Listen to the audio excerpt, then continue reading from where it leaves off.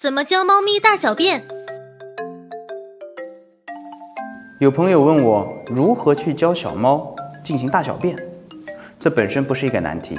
因为在他们的祖先而言，他们是野生动物，已经习惯于用土去掩埋自己的排泄物。那么时至今日，这样的行为习惯也没有改变。所以当你要去教导他们的时候，猫砂盆和猫砂这是两个最为重要的事情，他们自然而然会去学会。去用猫砂去掩盖自己的大小便，那么当然也有例外。如果小猫偶然间在不应该的地方大小便了，我们可以通过气味诱导法，把它的粪便或者是尿液放入到猫砂盆内，把它原来粪便大小便的地方彻底洗净，通过其他强烈的气味去掩盖大小便的气味。这在一定程度上也可以通过这样的气味诱导去帮助它们改善大小便的情况。小贴士：